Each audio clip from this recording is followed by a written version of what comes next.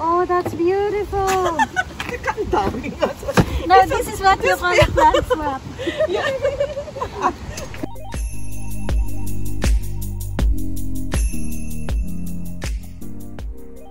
Hi guys! Welcome back to our channel. And ngayon nakikita nyo punong-puno ang aking table ng mga halaman. And believe it or not, lahat ng ito ay libre, bigay lang sa akin to ni Ate Ana ang napakabait nating subscriber na minute ko nung weekend. So ayan, tara samahan nyo akong isort lahat ito dahil yung iba kailangan ko nang itanim. So ayan guys, ito yung mga ibinigay nga sa atin ni Ate Ana na sobrang gagandang mga halaman. Umpisahan ko na dito. Ang sabi niya, ito daw ay Philodendron Black Cardinal. Ayan. Sana tama yung pagkakaalala ko. Pero parang ganun yung sabi niya. Philodendron Black Cardinal. And I really love this plant. Tingnan nyo, sobrang ganda. Meron akong ganito, yung isa. Ano naman yata, parang Bloody Mary yata yun. Or Majestic, parang ganun. And ito pa, para siyang agave na parang dikya. I'm sure na succulent ito, pero hindi ko lang alam yung eksaktong ID niya. Ang laki ano? Ang daming binigay sa akin ni Ate Ana. And I'm not complaining, alam niyo naman. Gustong gusto ko. Gustong gusto ko itong mga binigay niya sa akin. Meron pang ganito. Ang sabi ni Mamita Gina, kung ito daw ay matigas, ay parang nasa Sansevieria family siya. Ayan. Maganda rin siya, variegated na mga dahon. Para siyang damo, pag tinignan mo siya, parang spider plant. Pero hindi siya spider plant kasi nga matigas guys. Firm yung dahon niya na matigas. So baka nga tama si Mamita Gina na ito ay isang Sansevieria. Etong isa, para din siyang spider plant. Pero mas makapal yung dahon niya. Mas makapal yung dahon niya at mas malapad kesa sa spider plant. Ano nga ba yung sabi ni Sis Tess naman? Parang sabi niya pandanus daw yata ito. So, ayan. Wala pa din ako niyan. And then, here, hindi ko alam ang kanyang ID. Tingnan nyo guys. Ay, teka, meron pala tayong phone dito. Subukan natin gamitin ang Google Lens. Baka may sabi sa atin kung ano yung ID. Eto guys, ang sabi dito, ito daw ay isang Chlorophytum orchidastrum or fire flash. Fire flash na lang siguro. No? Parang imposible kasing matandaan ko yung masyadong mahaba niyang pangalan. So, fire flash, ayon kay Google Lens. Ayan siya. Tingnan nyo guys. Malaki-laki na rin ito. Ayan. Thank you, Ate Ana. Ang dami niyang binigay sa akin. Alam nyo guys, sa totoo lang, sabi niya, wag ko na daw siyang bigyan ng mga halaman. Kasi nga sinendan niya ako ng picture ng bahay niya. Wala na nga malakaran sa ibang parts ng bahay niya. Sa dami niyang halaman talaga. She's been gardening for many, many years. So, ayan, ito hindi pa nakatanim. Pero ito ay isang stinky yata. Ito, stinky. I'm pretty sure it's a stinky. Tapos meron dito hindi pa nakatanim. Itanim natin yan mamaya. And kukunin ko pa yung isang box dito sa baba. Baba ko lang.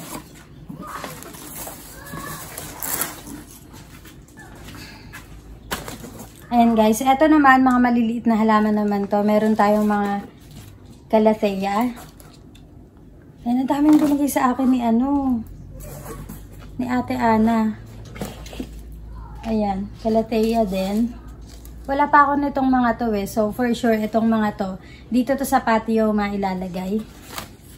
And then, eto, aglonema yata ito. Guys, aglonema ba to? Para siyang aglonema, no? Meron pang aglonema dito na nilagay si Ate Ana. Ayan. Feeling ko para silang aglonema. So, ilagay muna natin yan. Eto, Aglonema din ba to guys? Ayan, ang ganda rin ng dahon niya oh.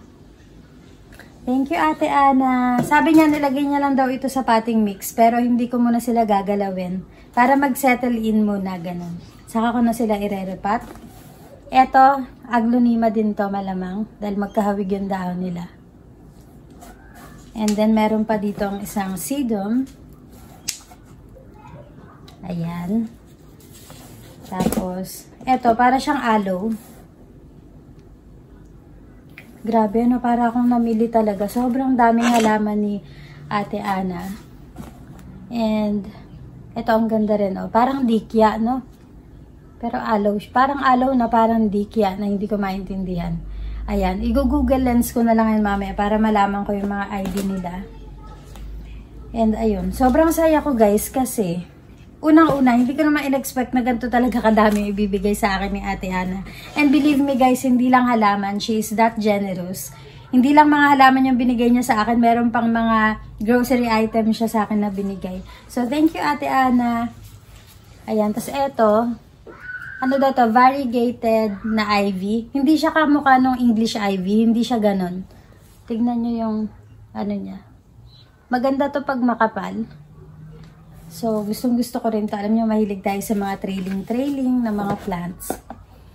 And, ayan, natapos na natin yung dalawang box.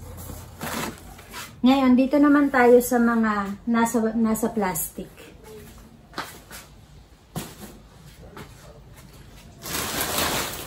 And guys, tignan kung gaano kalaki yung plastic. O, oh, diba? Sobrang laki ng plastic. Kasi lalaki ng mga halaman na nandito dito mga cuttings ito. Ang sabi sa akin ni Ate Ana, ilagay ko lang daw sa timba na may tubig. So, kumuha ko ng timba. Eto. Tapos, nilagyan ko siya ng rainwater. And, ilalagay ko lang itong mga cuttings na to. Ayan, hindi ko lang alam kung ano yung pangalan niya, guys. Pero mga ornamental plants ito. Para siyang ano, ito parang yaka. Na parang fortune plant na hindi ko maintindihan. Ayun, ang ganda. Variegated din siya. Ilagay natin yan dyan. Then eto, kung meron ako sa India na variegated, si Ate Ana meron namang kulay green. So ayan, alisin ko siguro yung mga dahon sa dulo. Kasi pag nababad ko sa tubig guys, ay mabubulok lang din naman yung dahon. So alisin ko na yung bottom leaves bago ko ilagay sa tubig.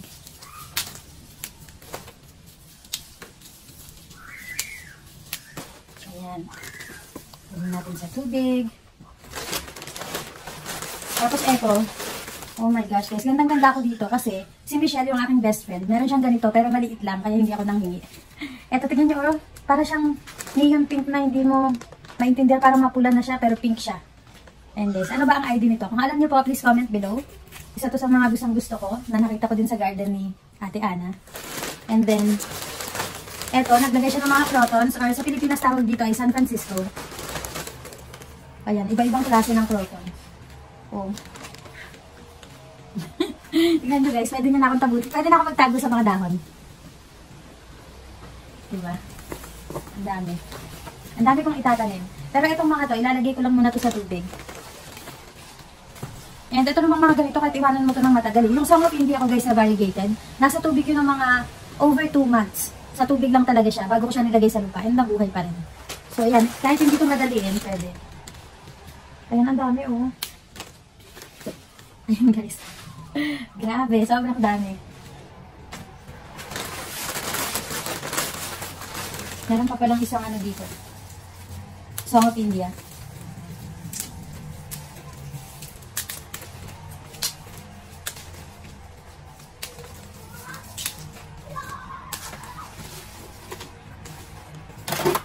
Ayan siya guys. Grabe, ang dami. And then, dito, ito pala, ito yung mga itatanim ko na ngayon guys. Kasi binigyan ako ni Ate Ana ng iba-ibang klase ng tipsalis, dipsalis. Etong ganito, meron na ako nito. Pero maliit lang naman yung pot niya. At ayan, itatanim natin yan lahat ngayon. Meron pa dito isang stinky. So, isasama natin to dun sa kanina. Hindi tatanim ko yan mamaya.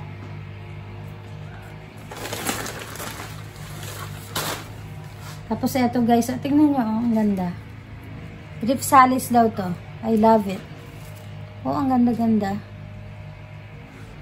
Tapos ito, drip salis din siya. Parang sticks, no? Para siyang fire stick, pero hindi naman siya fire stick. Ito nga ay drip salis daw. And then ito, meron pang isang klase. So, ayan. Apat na klase pala itong binigay sa akin ni Ate Ana. So, lalagay ko to sa terracotta pots. Tapos dito, tapusin na natin lahat bago pa ako magtanim. So, dito naman, binigyan ako ni Ate Ana ng Wandering Dew na kulay white. Yung variegation niya kulay white. Kasi di ba yung isa ko, ibang Wandering Dew yun. Ito naman yung may white. Ayan, ito kailangan ko din itong itanim ngayon. And then ito, mga bromeliads. Ilang piraso ba to? Ang dami din binigay sa akin ni Ate Ana. Ilagay ko daw to dun sa ilalim ng puno. So, doon ko to ilalagay, guys. Para pag pumunta dito si Ate Ana, makita niya yung mga binigay niya sa akin. Sana ay mabuhay natin lahat. Ayan guys, oh. Iba-ibang klase. Teka. Ayan siya. Mga matitibay na halaman din to eh. Ayan. Tapos eto. Eto, gandang-ganda ako dito. Bromeliad din siya. Sobrang ganda. So, ayan guys, sobrang dami natin gagawin. But I'm really grateful kasi syempre, pag madaming gagawin, mas maganda, ba? So, ilalagay ko muna itong mga broms dito sa gilid. And then, itatanim ko itong mga to. Ito muna ng ripsalis at saka itong Wandering Dew ang ating itatanim. Alam nyo guys, magla-live pa ako mamaya. And, naisip ko na gawin ko na to kasi hindi naman to pwede ipagpaliban dahil mga cuttings nga, di ba? I have to deal with this right now. Mabilis lang naman to. So, itatanim ko na. Ayan. Tatapalan ko yung butas ulit ng mesh tape. And then, itatanim na natin tong mga to.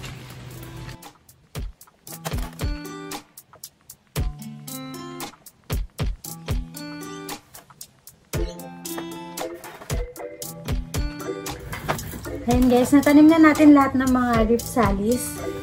Pakita ko sa inyo ng mas malapit. Siguro dito sa bunch na to, parang ito yung pinaka-favorite ko at the moment. Ang ganda oh. Sobrang ganda. Thank you, Ate Ana. I'm so grateful. Very, very grateful. Ayan. Nilagay ko sila sa mga terracotta pots kasi alam niyo naman, yan ang favorite kong pagtaniman. Ayan. And then, ito yung last. Ayan. So, apat yan na pot ng reef salis. Tapos, meron pa pala tayong ano, itong ating Wandering Dew na kulay white. So, eto, kukuha lang ako ng pot. May pot pa ba ako? Parang naubusan na ako ng pot, ah.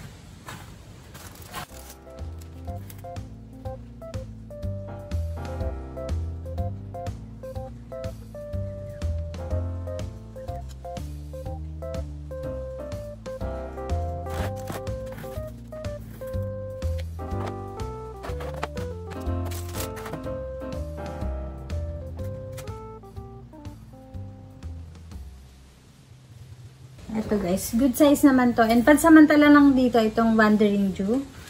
Dahil kapag uh, lumaki na yan, ililipat ko siya sa hanging pot. Meron akong hanging pot ngayon. Pero masyadong malaki para dito sa Wandering Dew na to. Pag medyo kumapal na siya, saka ko siya ililipat doon. And then eto, ganun lang din naman guys. The idea is, may ano lang talaga siya sa lupa maibaon sa lupa.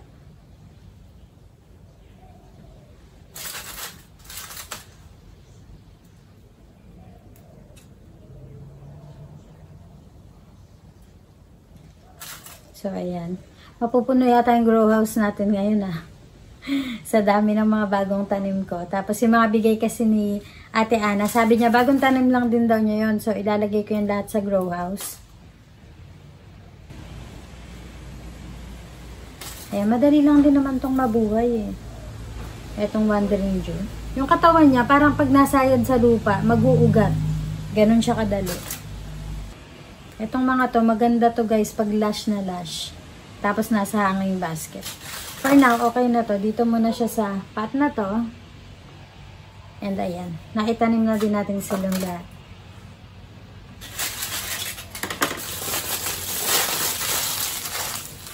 So ayun guys, maraming maraming salamat po sa pagsama nyo sa akin na ma-share ko sa inyo itong blessing na natanggap natin. Maraming maraming salamat po ulit Ate Ana if you are watching. I'm really grateful for meeting you. Napakabait pong tao and kagaya din ng marami sa ating mga plantita. Sobrang generous siya masyado. Mapagbigay ng mga halaman. Ayan, tignan nyo naman yung ating timba na puno ng mga cuttings from Ate Ana. And ayun guys, abangan nyo ating next vlog kasi doon naman sa next vlog ko, papakita ko sa inyo yung mga nabili ko doon sa nursery na pinuntahan namin. Thank you so much for watching guys. I will see you next time. Please don't forget to subscribe. Bye!